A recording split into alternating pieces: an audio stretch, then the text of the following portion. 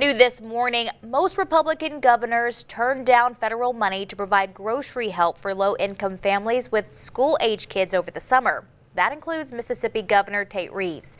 Families with children in free or reduced price school lunch programs would get $40 per qualifying child for each of the three summer months. States had until the end of 2023 to decide whether they would join the program this summer. Mississippi is one of those states that with the most food, excuse me, is one of the states with the most food insecurity for children. Around 324,000 children would have been eligible if Mississippi had accepted this program. Governor Reeves's office declared it an unnecessary big government program. The remaining holdouts are in 14 states across our country, including Mississippi and Alabama, meaning another 10 million eligible kids live in states that turned down the funding.